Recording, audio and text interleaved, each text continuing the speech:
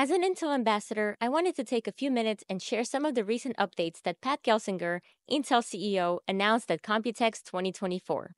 Pat started his speech by talking about the huge impact AI will have, comparing it to the internet revolution 25 years ago. He said AI will be everywhere, changing every device and every industry. And Intel is leading this change, aiming to bring AI to all parts of the tech world. One major highlight was Intel's progress in semiconductor technology. Pat proudly announced the launch of Xeon 6 with E-cores, a powerful and energy-efficient processor for modern data centers. He also mentioned Intel's goal for fitting a trillion transistors on a single chip by the end of the decade, showing the company's commitment to advancing technology. The speech highlighted the importance of Intel's collaborations and partnerships, especially with Taiwanese companies and other global players. Pat praised Taiwan's key role in the tech industry and celebrated the long partnership between Intel and Taiwanese firms.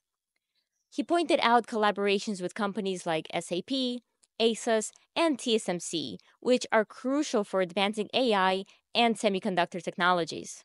These partnerships drive innovation and create solutions for global challenges. Sustainability and energy efficiency were also key themes in Pat's speech.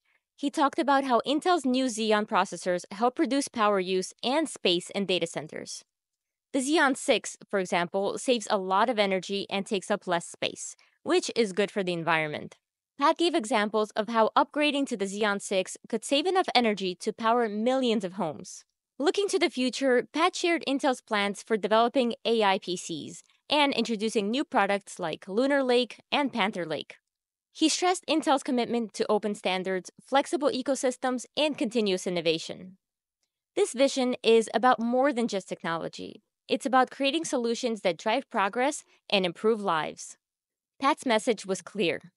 Intel is committed to surpassing current technologies and shaping the future with groundbreaking advancements. This is Kate Strachnyi from DATAcated. Thanks so much for tuning in.